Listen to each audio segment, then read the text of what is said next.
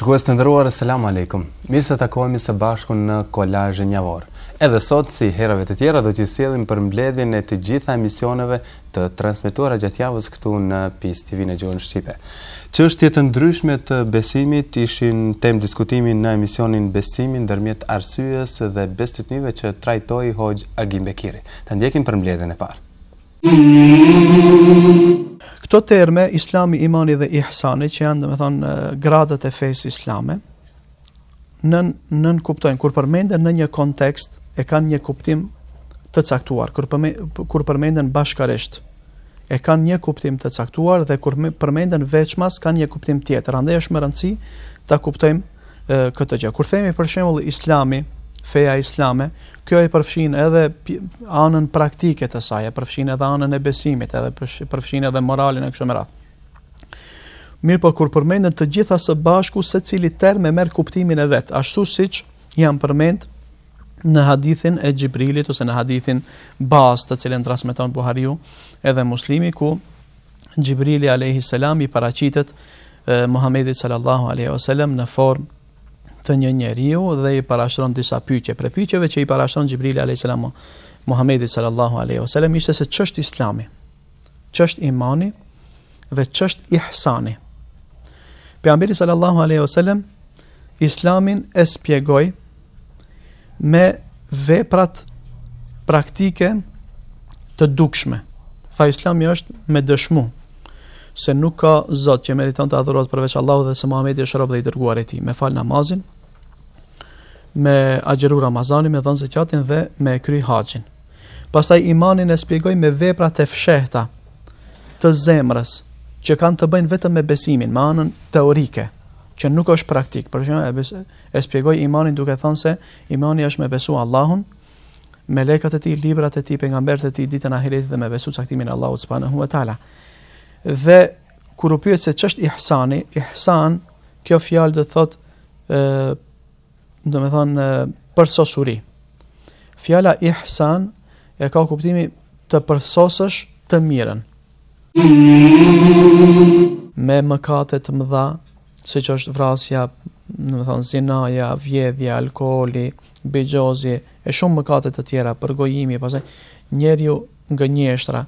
Njeriu nuk del nga feja porse, domethënë, i dobësohet besimi i tij dhe normalisht që ka mundësi, domethënë, mëkatet janë të rrezikshme, mund ta shpien atë deri te mosbesimi, mirëpo përderisa ai dëshmon se Allahu subhanehu ve teala është Zoti i vetëm që meriton të adhurohet dhe se Muhamedi sallallahu alejhi ve selem është i dërguari të cilin ai e ndjek, megjithëse bën lëshime, ai prapëseprapë mbetet brenda kornizave të asaj që quhet iman ose të asaj që quhet besim.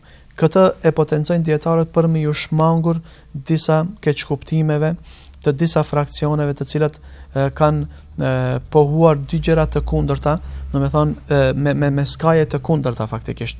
A është njëri fraksion që ka që ka pohuar dhe beson dhe ka proklamuar se njeriu me mëkate të mëdha del nga feja, kurse tjetri fraksion i cili ka pohuar, domethënë që është ana e, e kundërt plotësisht e këtij fraksioni të parë, që kanë pohuar se nuk e dëmton besimin mëkati. Ehli suneti, domethënë ithtarët e pejgamberit sallallahu alaihi wasallam kanë vënë në dukje duke analizuar Kur'anin dhe hadithet e pejgamberit sa dhe duke ndjekur metodologjinë e pejgamberit sallallahu alaihi wasallam dhe shpjegimet e tij në këto çështje shumë të rëndësishme kanë konkluduar se mëkatet e dëmtojnë imanin, besimin e zvogëlojnë atë dhe ka mundësi që nëse njeriu nuk kthehet te Allahu ka mundësi që me çu deri në mosbesim. Mirëpo, këto mëkate nuk ë domethënë që në momentin e parë nuk e nxjerrin njeriun nga feja, por se vetëm ia dobësojnë atij besimin. Allahu subhanahu wa taala në Kur'an thotë: "Wa ma ataakum ar-rasulu fakhudhuhu wa ma nahakum anhu fantahu." Atë që ua jep i dërguari, Merreni, dhe atë, nga e cila ju largon ai, largohuni dhe distancohuni për arsye se e gjithë e mira është në atë që na mëson pejgamberi sallallahu alajhi wasallam. E mira është në atë që na urdhëron pejgamberi sallallahu alajhi wasallam dhe e keqja, domethënë, është në ndalesat. Nëse dikush shkel kufijtë, vijat që i ka caktuar Allahu subhanahu wa taala dhe pejgamberi sallallahu alajhi wasallam, atëherë faktikisht ka ra, domethënë, në në të keqen. Ky është shabloni, të themi, ky është, domethënë, modeli, te i cili duhet të bashkohen të gjithë besimtarët. Allahu subhanahu wa taala, domethënë, ka urdhëruar që të gjithë të kapemi për litarin e tij, që është Kur'ani dhe Suneti i pejgamberit sa wa atasimu bi hablillahi jami'an wa la tafarraqu. Kapuni që të gjithë për librin e Allahut subhanahu wa taala dhe mos u përçani. Ë se përçarja domethënë është është dënim. Përçarja do të thonë është shkaku që Allahu shkatroi shumë popuj. Përçarja do të thonë është nuk është ë veçori e umetit të Muhamedit sallallahu alaihi wasallam. Po përçarja do të thonë është veçori e popujve të cilët Allahu subhanahu wa taala i shkatroi. Andaj pejgamberi sallallahu alaihi wasallam thotë, popujt para jush i ka shutru, i ka shkatruar pyetjet e shumta që i bënin, do të thonë pyetjet e shumta të panevojshme. që i bënin për çdo gjë dhe kundërshtimi i tyre që i bënin pejgamberëve. Të gjithë besimtarët e kanë për obligim që t'i kthehen dhe do me thënë xhematit të parë. Xhemati i parë që ka jetuar në islam është shoqëria e sahabëve, shokëve të pejgamberit sallallahu alaihi Wa salam.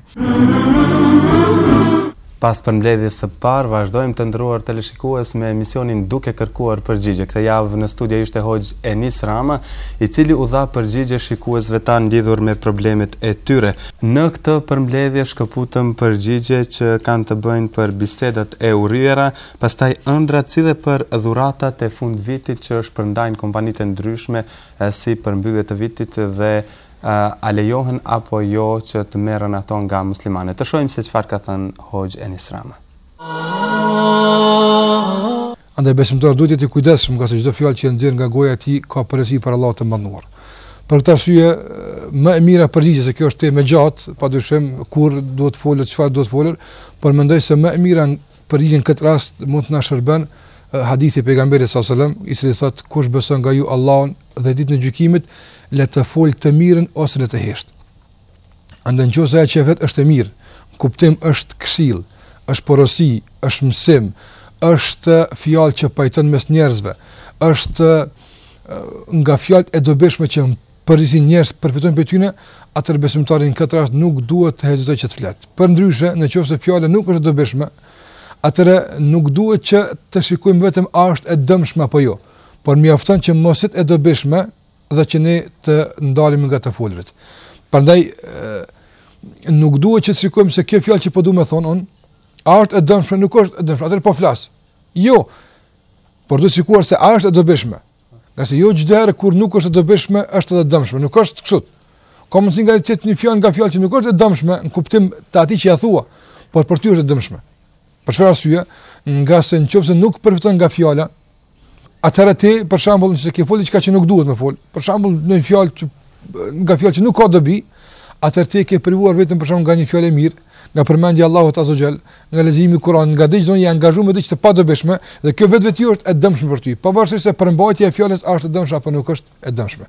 Prandaj mendoj se si kriter dhe si përgjigje e shkurtë në këtë pyetje mund të themi se le të shërben hadithi i pejgamberit alayhi salatu sallam, kush beson nga ju Allahun dhe ditën e gjykimit, le të flet të mirën. Dhe e mirë është nënkupton çdo fjalë që i bën dobi tjetrit, apo të bën dobi ty në veten tënde, sikurse është këshilla, mësimi, porosia, pajtimi mes njerëzve e kështu me radhë. Ose ka thënë i dërguari salallahu alejhi ue selem, nëse nuk është e dobishme, nuk është e mirë, atëherë le të hesht. Ëndrrat padyshim se Dinë që ta gëzojnë njerin, ta disponojnë njerin, po dinë ta shqetësojnë shumë njeriun. Madje ka ëndrra që ndodh që nga to njeriu të smuret. Do të thotë, ta përjeton aq rëndë ëndrrën, saqë të ketë nevojë që disa kohë të rehabilitohet nga ajo ëndërr. Për këtë arsye, për shkak të ndikimit të madh të ëndrrave tek personi, na ka mësuar i dërguari sallallahu alaihi wasallam që të kemi kujdes në përcjelljen e ëndrrës. Ngase kur unë e shoh ëndrrën apo ti e shoh ëndrrën është shumë private. Askush në botë nuk mund të din se çfarë po sheh ti ëndërr. Kjo është shumë private. Po e tash publikimi i kësaj ëndrre ka rregulla në Islam. Në qoftë se ëndrra është e keqe, është e tmerrshme, përbën gjëra tmerruese, Atëherë i dërguari sallallahu alajhi wasallam ka thënë që në këtë rast nuk lejohet që këtë ëndërr t'ia tregojmë askujt. Po çfarë të bëjmë? Është e pëlqyer që të pështyjmë të pështyjmë do të thotë pa lagur në anën e majtë tri herë dhe të kërkojmë mbrojtje tek Allahu nga djalli i mallkuar dhe gjithashtu të kërkojmë strehim dhe mbrojtje tek Allahu nga e keqja e kësaj ëndrre. Muhamedi sallallahu alajhi wasallam thotë kush vepron kështu është i mbrojtur nga e keqja e asaj ëndrre. është i mbrojtur nga e keqja e kësaj ëndrre. Ndërsa në qoftë se dikush nga ju, thotë Muhamedi sallallahu alajhi wasallam, sheh ëndërr të mirë, për shembull sheh veten duke falë namaz, kjo është ëndërr e mirë, e sheh veten duke pre kurban, duke ndihmu dikujt, ëndrra të shumta do të thotë mos tash të futem në detale, në qoftë se sheh ëndërr të mirë, atëherë edhe në këtë rast duhet të jetë i kujdesshëm kujt po ia tregon këtë ëndërr. Jo ëndrrën e mirë duhet t'ia tregosh çdokujt, po ka thënë pejgamberi sallallahu alajhi wasallam t'ia thuash ëndrrën atij që e don ti. Shikojeni sa sa bukur e ka e, e ka veçu pejgamberi sallallahu alajhi wasallam personin që ne ia besojmë atij ëndrrën tonë. Për çfarë arsye? Ngase nëse në ëndrrën tonë ka diçka që nuk është e mirë, ai që na don nuk na tregon. Nuk na tregon, mos me na shqetësu. Na tregon vetëm aspektet e mira të kësaj ëndrre, që na gëzon dhe na disponon. Andaj në këtë rast nuk po di kujt ja ka tregu këtë ëndërr. A është ai person që ndoshta e ka të afërm e don? Dhe dytë, a është person adekuat i përshtatshëm që kupton t'i deshifron ëndrrat, ngase ëndrrat përbëjnë shifra, kode. Dhe njerëzit pasaj në bazë të rregullave të caktuara dinë t'i deshifrojnë këto kode. A është ky person i tillë apo nuk është? Pra edhe tek njerëzit që i don duhet të ketë kufizim. Kufizim padyshim, që ai din. Të komenton ëndrrën, por ndryshe nuk bën të tregohet ëndrra. Ngase mund të jap kahje komplet të kundërt dhe kjo të përbën një shqetësim pastaj për ty. Dhe në fund fare dua të them që ëndrra nuk është bazë për jetën tonë. Nuk duhet bazuar në ëndrra se çfarë komentohet. Ëndrra është një lloj lajmërimi, është një lloj një lloj një lloj lajmi që t'ja për diçka, por nuk është bazë. Nuk duhet referuar asaj. Në qoftë se pronari i firmës me vetëdëshirë shpërndan shpërndan do të thotë dhuratë të caktuar apo ndonjë shpërblim të caktuar punëtorëve të tij, si pasojë do të thotë e përmbylljes së një viti të punës të suksesshme, kështu më nuk prish punë. nuk prish punë që të merr dhuratën këtë rast. Këtë rast nga ai. Ngase ajo që bëhet tek ne nuk është e motivuar motivuar nga ndonjë motiv fetar. Për shembull, askush nuk i jep dhuratat për shkak se kjo ditë njihet si dita e Krishtit për shembull apo. Nëse ka motiv fetar atëherë kjo diçka tjetër. Po tek ne shumica e e e e festave që bëhen nuk kanë motiv fetar, kanë motiv më shumë tradicional. Ka mbetë tek ne fundi i vitit e kena përmbyllë një vit me sukses, po dëshiroj me i shpërbly punëtorët e mi, nuk ka diçka të keqe këtu. Nuk prish punë dhe marrja e kësaj dhurate në këtë rast është e lejuar inshallah.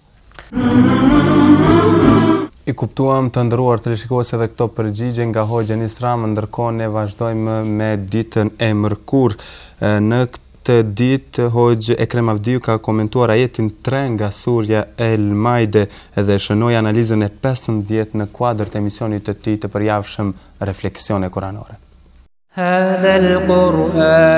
Ibn Kathiri, Allahu e mëshiroftë, duke e trajtuar këtë ajet, thotë se me të vërtetë ndër begatitë më të mëdha që Allahu ia ka dhuruar këtij ummeti, është fjala për ummetin e Muhamedit sallallahu alaihi wasallam. dhe njerëzimit në përgjithësi është feja të cilën ua ka shpallur dhe e ka zbritur për ta, por gjithashtu është edhe përsosmëria e cila e karakterizon këtë fe dhe këtë shpallje të fundit.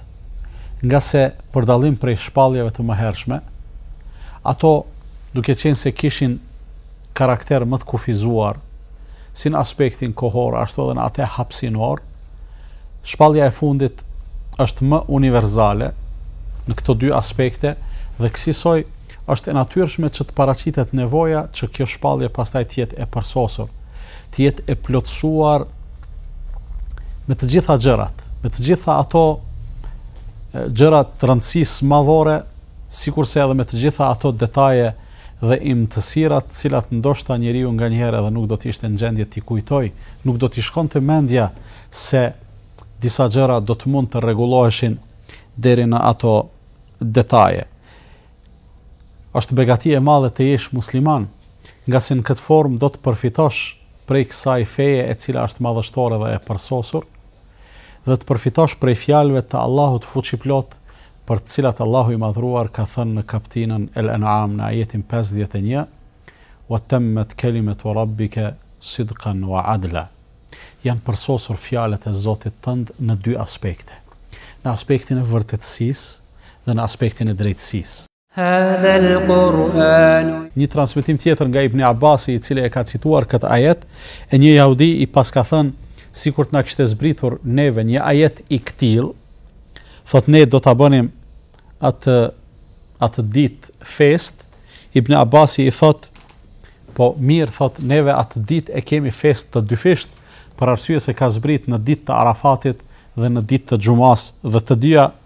Të dyja këto ditë për neve për neve janë shumë të vlefshme. Është interesant të nderuar shikues, është interesant ë reagimi i çifutëve, i jehudive, i bashkohanikëve të të Ibn Abbasit dhe të Omer ibn al-Khattabit radiallahu anhuma dhe komentet e tyre lidhur me këtë ajet e, çifutët që kanë jetuar në dhe përreth Medinas, e që kanë pasur kontakt me, me muslimanët, kontakti i tyre ka qenë në një farë mënyre, ka pas edhe ta quaj fërkime kulturore dhe fetare. Ata janë informuar hollësisht Çfarë po ndodh me muslimanët, cilat janë dispozitat të cilat po i shpallen të dërguarit të Allahut Muhammedit sallallahu alaihi wasallam. Madje ata jo rrallë kanë ardhur dhe, dhe kanë kërkuar sqarime, komente, kanë ardhur dhe kanë kërkuar nga i dërguari sallallahu alaihi wasallam që t'u gjykojë për kontestet që i kanë pas ndërmjet vete e kështu me radhë. Me një fjalë, jehudit e asaj kohe kanë qenë shumë mirë të informuar se çfarë po ndodh me muslimanët. Dhe ajo që të bën të, të, të krijosh një përshtypje interesante, është vetë fakti se zbritja e këtyre ajeti, zbritja e këtij ajeti atyre u, u, ka, u, ka, u ka shkaktuar një ta quaj një një lindje të xhelozisë ose i ka ngacmuar deri në atë masë saqë nuk kanë mundur ta fshehin lakminë dhe dëshirën sikur të na kishte zbritur edhe neve një kësilloj ajeti. Nuk ka asnjë mirësi që njeriu mund ta paramendojë e që i dërguari sallallahu alejhi ve sellem të mos na e ketë prezantuar atë, të mos na ketë inkurajuar në te dhe këtë vetëm se ka qenë i dirigjuar dhe i udhëhequr nëpërmjet shpalljes. Gjithashtu nuk ka asnjë të keqe, asnjë të ligë, asnjë gjë të dëmshme, e që i dërguari sallallahu alejhi ve sellem të mos na e ketë tërhequr vërejtjen prej saj, ashtu sikurse thotë Ebu Dherri, Allahu qoftë i kënaqur me te, thotë i dërguari sallallahu alaihi wasallam na ka lënë, që do të thotë është ndarë prej neve dhe është ndarë prej kësaj bote,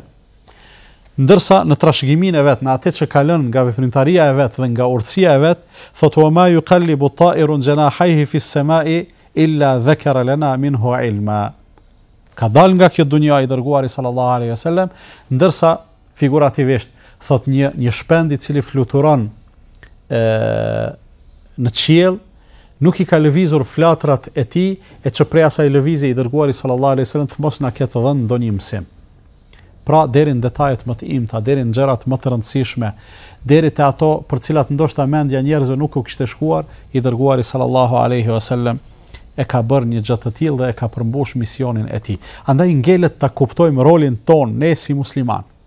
Ta kuptojmë rolin tonë në raport me fenë. Unë e thashë në fillim, është feja e Zotit dhe është feja e jonë.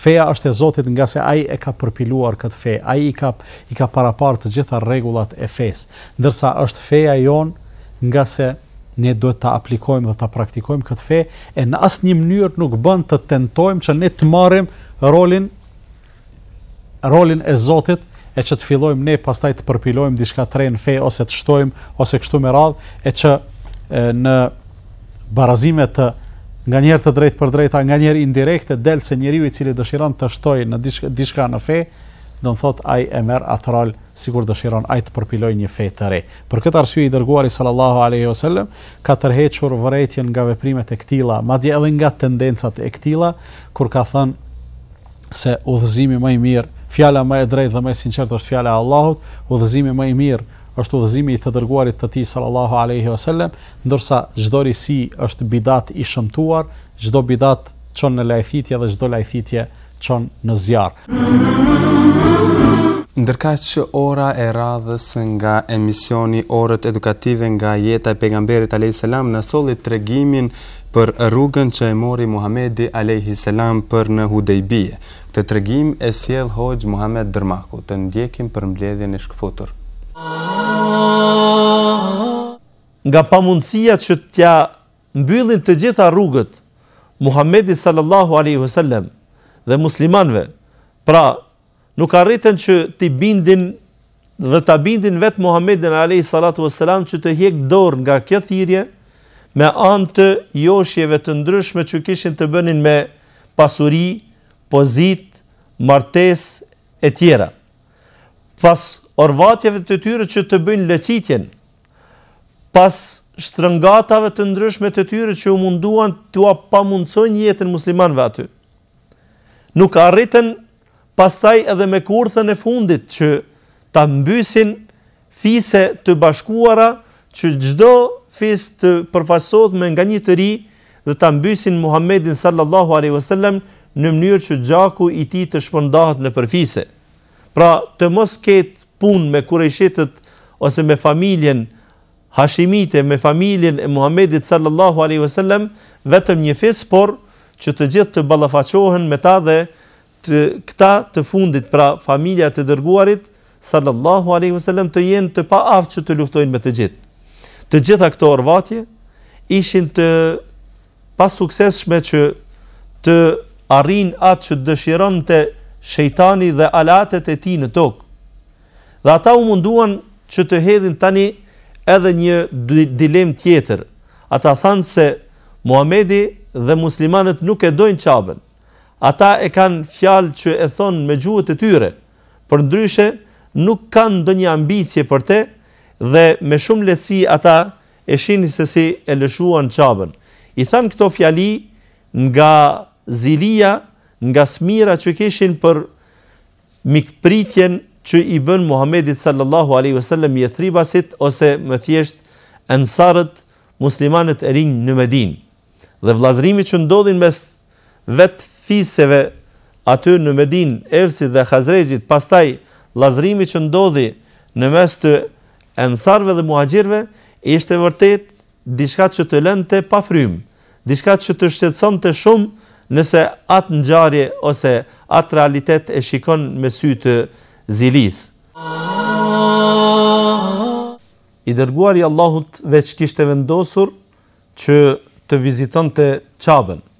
Thjesht ishte dëshirë e tij e kahmotshme dhe tani mendoj se ishin pjekur kushtet që ta bënte një gjë të tillë.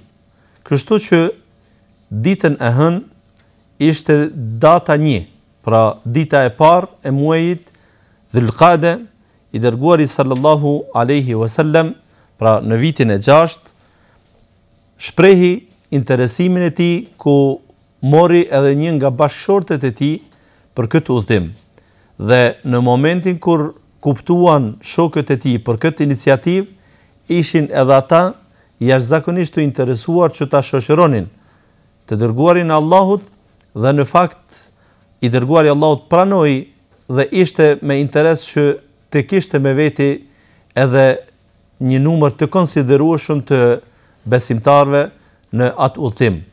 Paramendoni të nderuar shikues se të dërguarit Allahut iu bashkëngjitën në atë rast 1400 persona që dëshiruan pra ta bënin umrën, ta vizitonin Qabën dhe i dërguari Allahut me vete mori edhe shtatëdhjetë deve për t'i therë për kurban, pra që quhen hedi nëse është fjala pra kur haxhiu merr me vete diç për ta prerë për kurban, e kjo është në udhëtimin e haxhit, ndërkaq në këtë rast i dërguari i Allahut kishte marrë në udhëtimin e umrës dhe Thuhet se kjo kishte ndodhur për herë të parë, pra që i dërguari i Allahut kështu të merrte për umrë edhe pse nuk kërkohet që gjatë umrës të prehet kurbani. Ashtu siç do tregon më vonë ky komandant i ushtrisë armike se këta pritnin namazin e rëndomtë të muslimanëve, që kur të gjithë do të binë në sexhde, e gjithë ushtria Mushrike t'i binte atyre t'ia mësynte atyre dhe kështu t'i shkatërronte përnjëherë sepse e dinin se ata në namaz nuk do të lëviznin Allahu i plotfuqishëm e bëri pra rregullin e faljes së namazit në këtë formë e cila ishte formë e re e panjohshme për ta, mirëpo që këta njerëz as pra nuk do ta lënë namazin, e as nuk do t'i humbin armët e tyre, e as nuk do të lejojnë pra që të jenë jo vigjilentë dhe të humbin ballafaqimin me armikun. Sido që të jetë, kjo është në pika krejt të shkurtëra deri te ai takimi, ku atje Vijnë lajme të njëpasnjëshme se nuk ka mundësi që besimtarët të shkojnë dhe atë vit ta kryejnë umren e tyre. Ata ndalen te një vend që ishte një pemë, ai vendi quhet Hudejbije, ku aty do të takohen palët e pala muslimane me palën kurejshite, mushrike dhe aty do të merren vesh për hapat e mëtutjeshëm. Aty do të shohim se do të ketë një marrëveshje e cila do të jetë e disfavorshme për muslimanët në ato momente. Mirëpo, megjithatë, aty vendos i Dërguari i Allahut sallallahu alejhi ve sellem. Është ngjarje me të vërtetë shumë interesante, ata do të pengohen dhe aty do të qëndrojnë për një periudhë më të gjatë, por Ndërkaq të premten tek emisioni Zëri i Arsyes trajtuam Ditën Ndërkombëtare kundër Korrupsionit.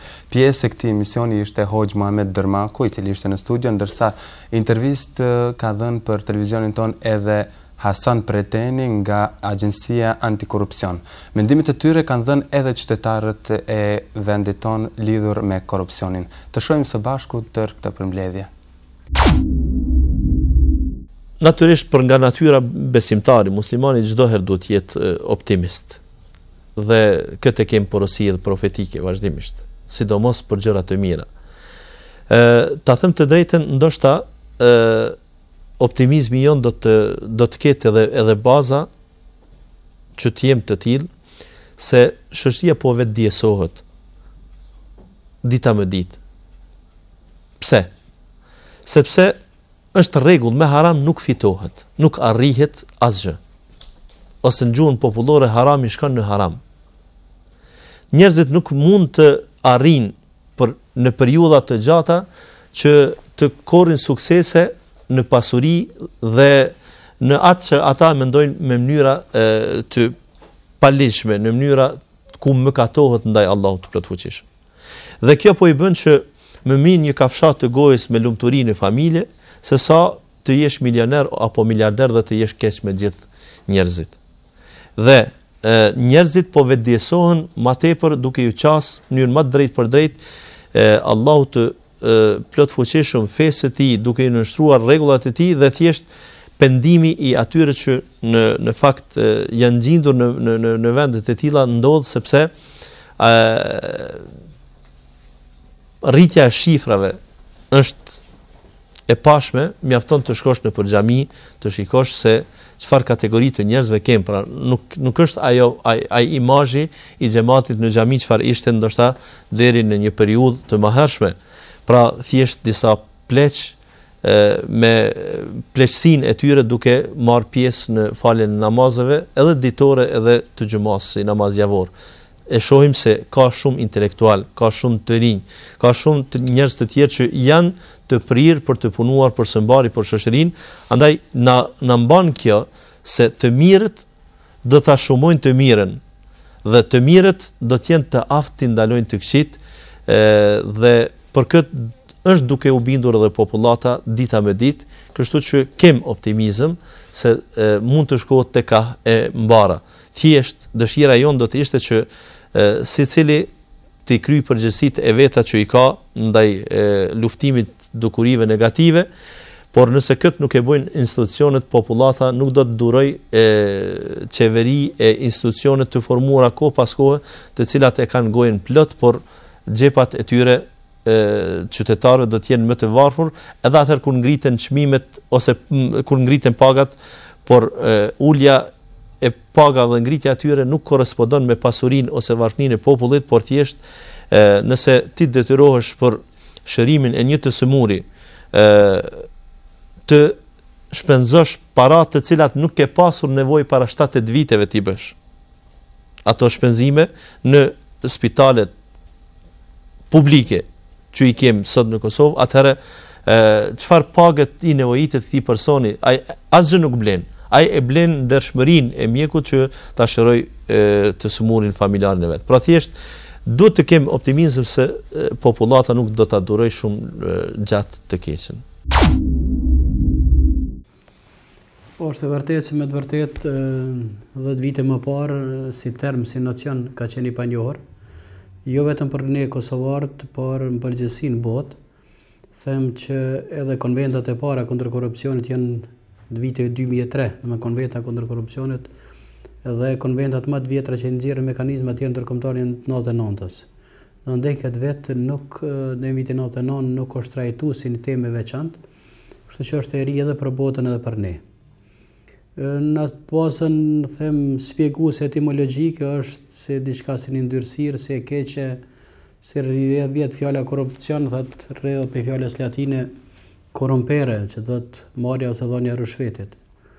në terminologjinë e ndryshme, në teoritë e ndryshme përdoret mënyra të ndryshme. Mirëpo duhet të kuptuar një, them një fjalë rrumbullakësuese, një fjali them, që shkelja e ligjit me qëllim përfitimit është korrupsion. Dhe çdo shkelje e ligjit, pa marrë parasysh sa sjell fitime materiale ose jo materiale është korrupsion. Ose thot një prej definicioneve them shumë simpatike që e kam, thotë nuk ka transparencë, nuk ka llogaridhënie, ka korrupsion. Ose thot shërbimi i vetvetes në mënyrë jo etike, jo të moralshme, nëse i shërben vetvetes në këtë mënyrë atëherë je i korruptuar. Don kurse tek ne me them është fjala më e ndyrë, më e urryer e cila është është dëgjuar kohëve të fundit.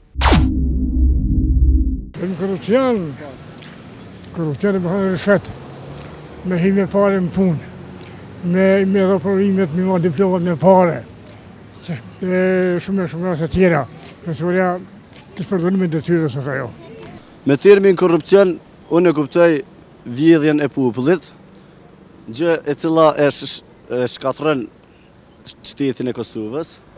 Me korrupsion, pa korrupsion gjithçka do të ishte më mirë. Me fjalën korrupsion unë e kuptoj keqpërdorim mirë që i ka drejtimin në hajni. Edhe mjerisht që korrupsion ka gjithkun, çdo institucion Kosovës ka korrupsion. Edhe nuk po ndërmerr masa kurkush, Kjo mjerim për popullin, populli tesh nuk ka n'dorë thjesht me thonë. Vjedhje, me fjalë tjera, mashtrim, vjedhje, në tendere, të llojllojshme, qëto sene. A është i dëmshëm për shoqëri? I dëmshëm edhe s'ka qysh bëhet ma i dëmshëm. Domethënë krejt ajo është njerëz që te populli, aty ne që kontribojnë. Po Kosovës ia ka hup krejt edhe autoritetin e shtetit që e ka përfitua edhe Për kësisoj me korrupsion na s'mund më kurrë me shku përpara. Shpinë e njerit kur e vjedh dikush prej antarëve e shpis, atëherë ajo shpi s'mun përparon. Veç hup çdo ditë. Pa marrë parasysh, qashtu është edhe qeveria jonë sot që shkon, qashtu e shpejnë n'korrupsion.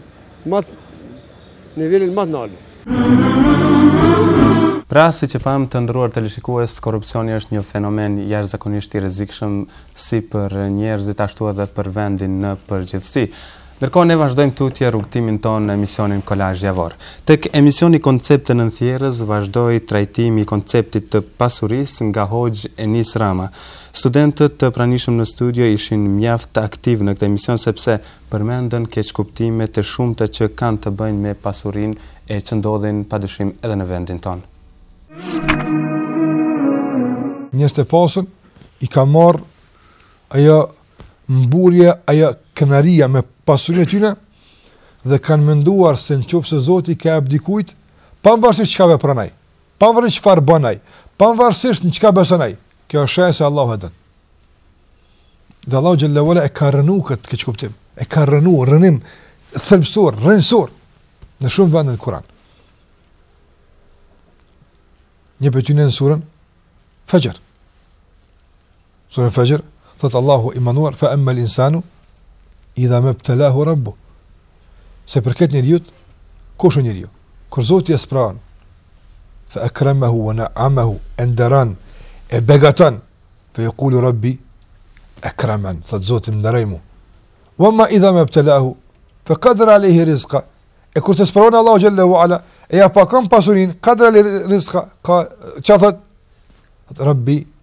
ehanen, thotë atëherë Zoti më nënçmoi mua. Kella.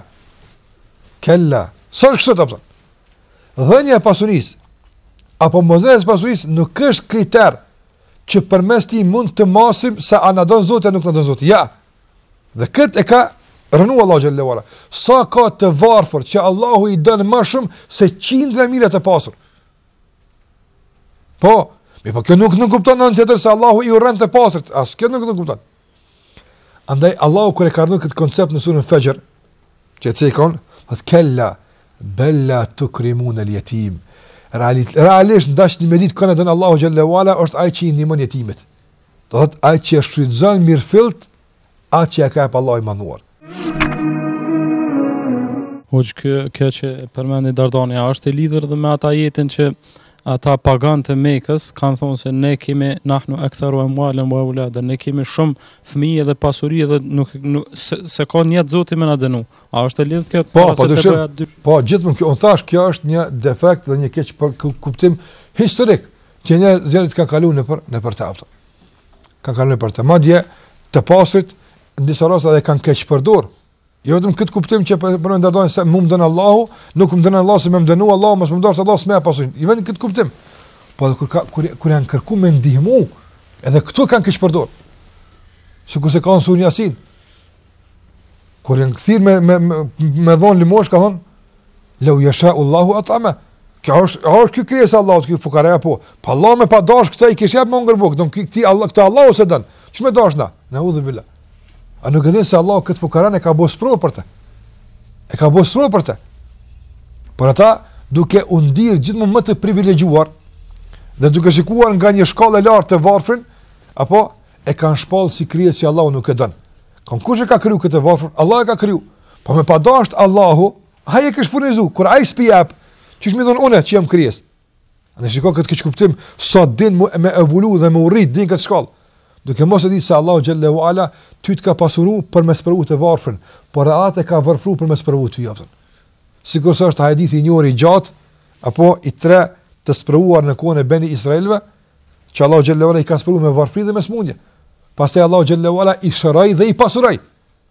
dhe ua dërgoi një të varfër që të shikojë se si po sillen. Dy të parët, thonë, "Jo, këto na vetë na fitu, jena lodh, shko lodhu ti." Dhe nuk i dhan. I, i treti tha, "Unë kam qenë i varfër si ti. Më ka begatu Allahu, merr sa dush o vëlla, sa dush."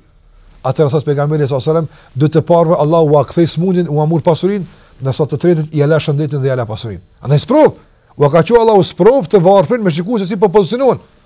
Jo pse ata janë të pasur e Allahu i don, e ky është i varfër Allahu nuk e don. Jo vallahi jo. Ja, sa të varfër Allahu i don, sikur të thot pejgamberi s.a.s. rubbe ash'atha agbar. Sa ka njeri flok prishur, i pluhnosur nga varfria. Lau aqsama ala Allahi la abarra. Sikur të betohej në Allahun, Për ndonjë punë, Allahu nuk do ta nuk do t'ia dështonte betimin. Çështja për me për me dhon sadaka ose lëmosh, mirëpo këta persona zakonisht nuk falin as namaz, as nuk i nuk i kryjn as as një rit fetar, kështu që thon thon që unë vetëm jepi. Edhe përmbyllet me kaq pa i kryer ato të gjitha ritet tjera. Ky keqkuptim shumë në rregull. I ka dy kënde të këqija. E para njerëzit mendojnë se duke kryer këtë obligim shpërlahen tek Allahu xhalla ue ala. Dhe mur fund. Në zeqat, në sadaka mur fund. Por si ia bën me obligimet e tjera? Është vërtet, ti ke kryer një obligim, pra atë që e ke kryer në rregull shpërlahesh tek Allahu, por mbetet pjesa e mbetur. Dhe në anën tjetër disa njerëz e bëjnë një keqkuptim të radhës. Thotë masi s'falna, pse me dhon zeqat? Masi s'falna, pse me shku n'haxh? Masi s'falna, edhe kjo gabim është. S'paku lehtësoja vetes me një obligim më pak të kryer tek Allahu i madhëruar. Ngase për çdo obligim kem me dhon përgjegjësi tek Allahu xhalla xhalaluhu. Dhe mendoj se këto dyja janë keqkuptime. Duhet që zakati, në qoftë se e japim sikur duhet, të na shpie tek namazi. Dhe namazi të na shpie tek agjërimi, dhe agjërimi të na shpie tek haxhi e kështu me radhë. Pra në qoftë se një adhurim e kemi, duhet që të kapim për, të, për atë adhurim dhe të ngjitemi pastaj tek adhurimet e tjera, sikur se kemi fol tek tek adhurimi atje. Mirëpo jo një adhurim e kemi edhe atë ta rrënojmë. Jo kështu.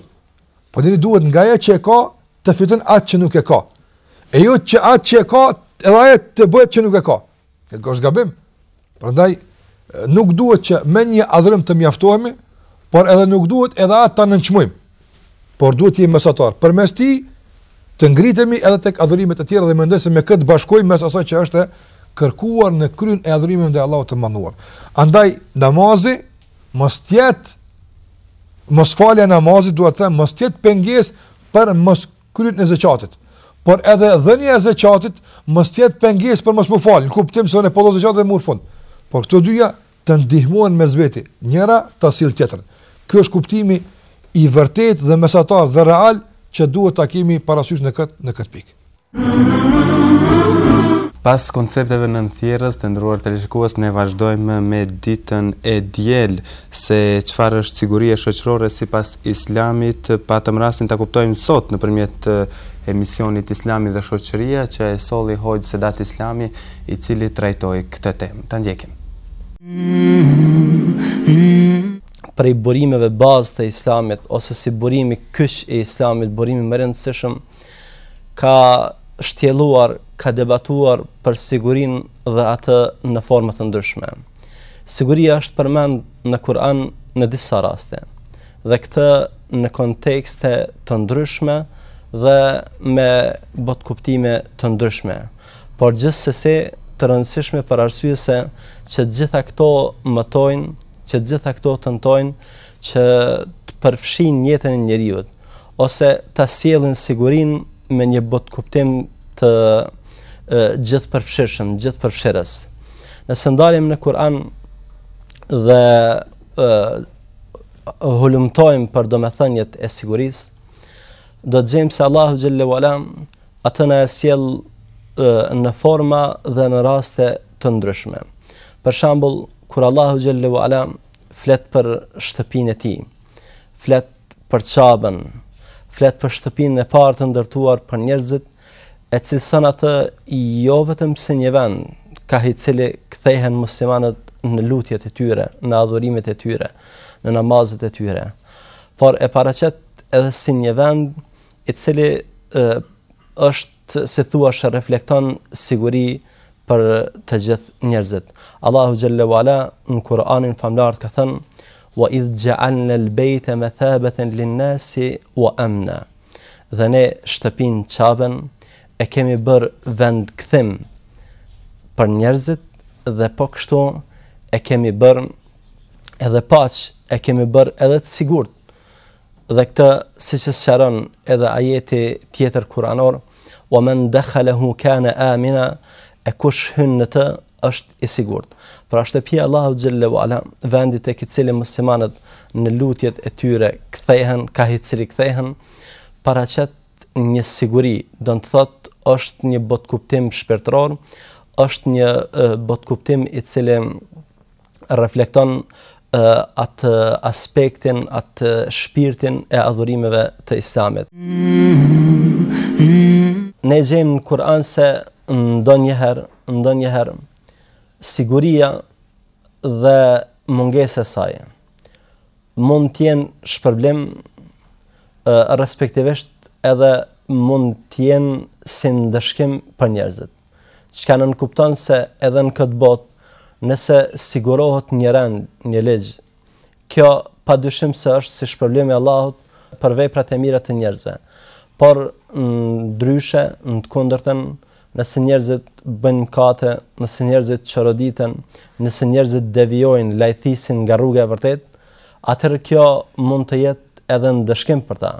Madje Allahu xhel-le ue ala ato gjërat me të cilat i ndëshkon ata tërmete, tufane, ë vërshime, ë që të gjitha këto janë prej shenjave të vetëdijësimit të tyre. Do të thotë përderisa humb kjo siguri, atëherë kjo bëhet për vetëdijësim të njerëzve që t'i kthehen vetes që të mos bëjnë mëkate, Siç thotë Allahu, "Wa ma nursilu bil ayati illa takhwifa", dhe ne nuk i dërgojmë këto shenja, ë nuk i nuk i sprovojmë njerëzit me këto me këto fatkeqësi, përveç se për t'i frikësuar ata. Do të thotë mungesa e sigurisë në këtë rast është si shkak i mëkateve. Për arsye se Allahu xhel-le ue ala nuk nuk ju jep njerëzve të mira përderisa ata ata e kundërshtojnë atë dhe i bëjnë mëkat atij. Apo mungesa e sigurisë në disa raste mund të mos jetë vetëm si pasojë e mëkatit, por ajo mund të jetë edhe thjesht se Allahu xhel-le ue ala dëshiron që ta sprovojë njeriun. Dëshiron që ta sprovojë robin e tij.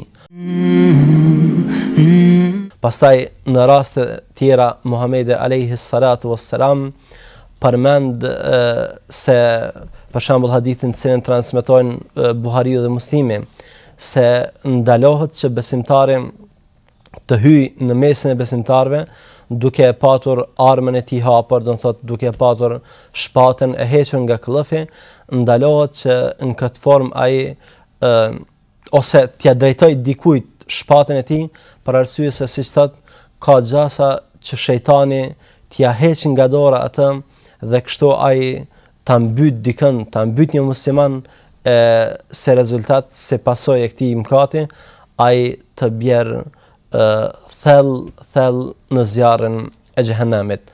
Në një hadith tjetër, Muhamedi alayhi salatu wassalam thotë askush le t'mos ia marrë askujt, asnjë besimtari plaçkat e tij, të mirat e tij, qoftë edhe nëse e bën këtë për, për shaka.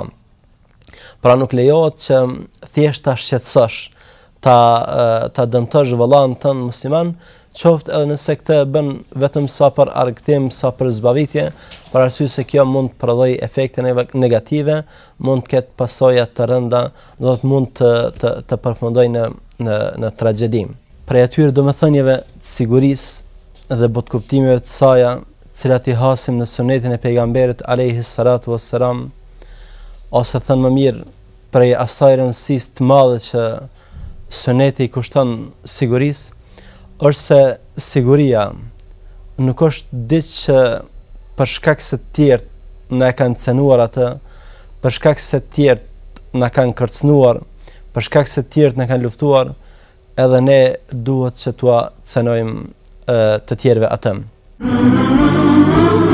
Ndërkaq, për të tretën javë vjen emisioni Kuvendet e Urtësisë që e sjell Hoxhë Ekrem Avdiu.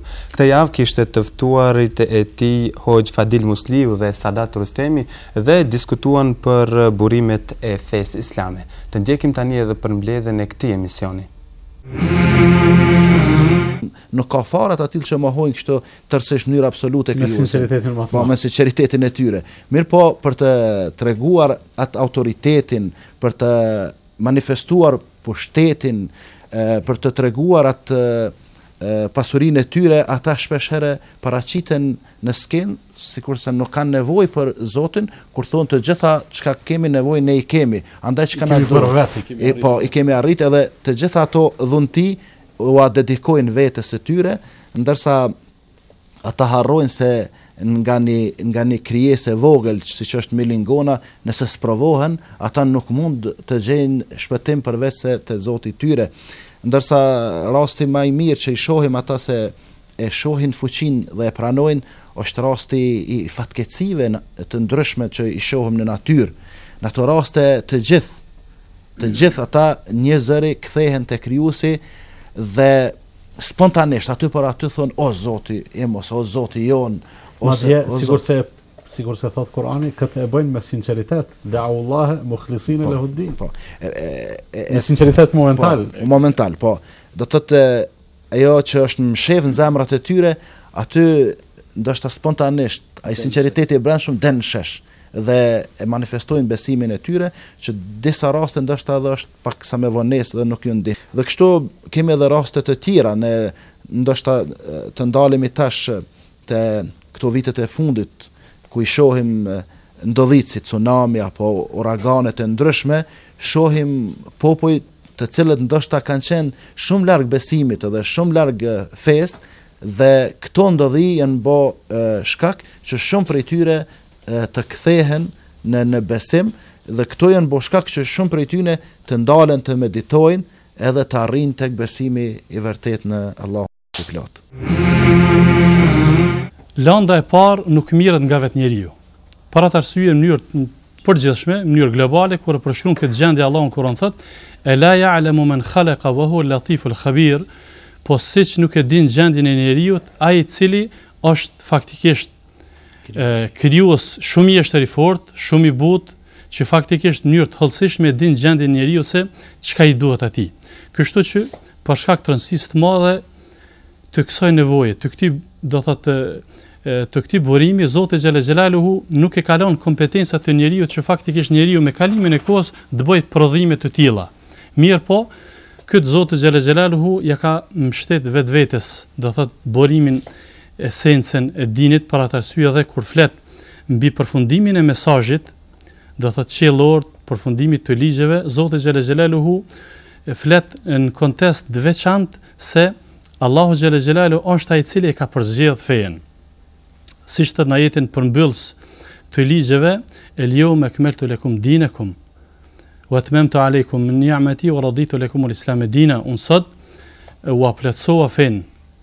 ua plotësova dhuntitë e juaja dhe ua përzgjodha juve fenë që faktikisht fenë time, pastaj Allahu xhelle xhelaluhu kur flet në mënyrë direkte te adhurimet që faktikisht duhet t'i nënshtrohemi vetëm Atij, Allahu xhelle xhelaluhu në mënyrë direkte e urdhëron njeriun që t'i referohet Allahut xhelle xhelaluhu për fenë e tij. Bazat janë këtu në Kur'an. do të thotë këtë burim. Burimi i dytë është suneti, rruga, tradita, fjalët, pëlqimet e profetit tonë sallallahu alaihi wasallam. Dhe këtu duhet të kemi parasysh se kush i përmbahet këtyre dy burimeve, ai nuk do të humbë asnjëherë, siç na porositi edhe vetë Resulullah sallallahu alaihi wasallam, tha po ua lë dy gjëra juve që nëse u përmbaheni atyre nuk do të humbni asnjëherë librin e Allahut edhe sunetin tim. Do thotë ne jemi të garantuar si besimtarë muslimanë se nuk do të humbim asnjëherë, po me një kusht. Do thotë garancion i kushtzuar që t'i përmbahemi Kur'anit edhe sunetit. Dhe muslimanët me qindra vite kanë qenë një një shembul apo një mostër se si duhet të punojnë me me Kur'an dhe me Sunet. Këto janë dy burimet esenciale që mbështetet feja islame në to e pastaj edhe dy burimet që pasojnë prap burimin e kanë te to, domethënë edhe konsenzusi edhe analogjia do thotë prap e kanë mbështetjen në Kur'an edhe në Sunet. Gjë që me kuptu se Kur'ani Libër i Allahut, Fjalë e Allahut, në te ka urdhresa dhe ndalesa, udhëzime, në te është përshkru interesi i njeriut në të gjitha etapat.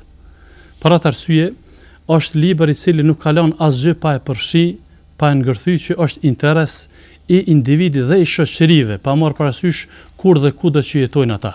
Kështu që, siç ka ditë me i befasu ky libër edhe gjeneratat e kaluara, ku faktikisht njerëzit kanë jetuar në errësira, din edhe në ditët e sotme t'i befasojë çuditërisht, do të thotë me argumentet të cilat i sjell Kur'ani në gjitha format, në gjitha mënyrat, qoftë edhe në aspektin fetar, islam se si ka bë edukimin e individit, familjes dhe shoqërisë, po ashtu edhe në aspekte tjera jetësore. Me këtë përmbledhje të nderuar teleshikues ne arritëm në fund të emisionit të sotëm Kolazh Javor. Ne urojmë që ju keni mbetur të kënaqur me përmbledhjen që ju sollëm sot. Ju dëshirojmë shëndet e mirësi çdo herë. Mbetshi nën mbrojtjen e Allahut. Esselamu alejkum.